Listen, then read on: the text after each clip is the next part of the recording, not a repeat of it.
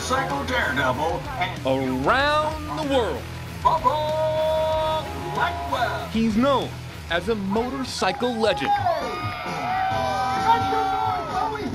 But look closer and you'll see that even at 50 years old, Bubba Blackwell is still a motorcycle maniac. A no-brainer for our first ever multi-camera report in 360 degrees.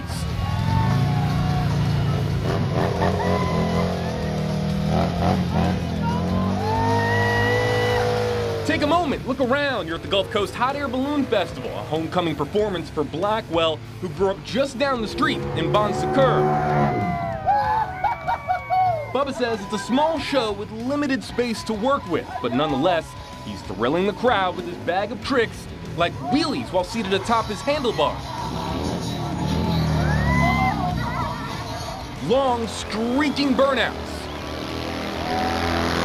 And just plain old throttle. From our bike cam, you can see Bubba, his Harley, the crowd, and all around, not just to catch his stunts, but for the jokes too. Pam, you are right on camera. They're looking at your nostril hairs.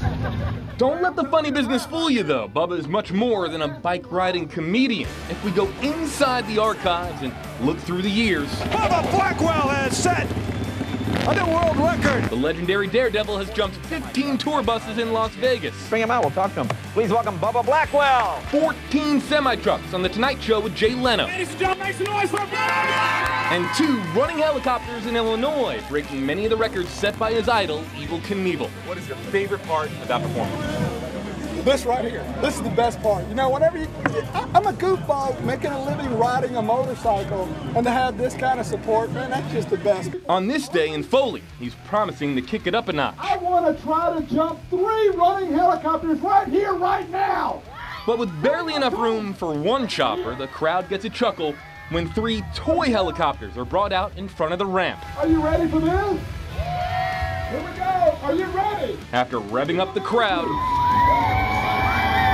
Your own camera. Don't forget your own camera. Bubba lines up Here we go. on his Harley Davidson XR 750 and takes off.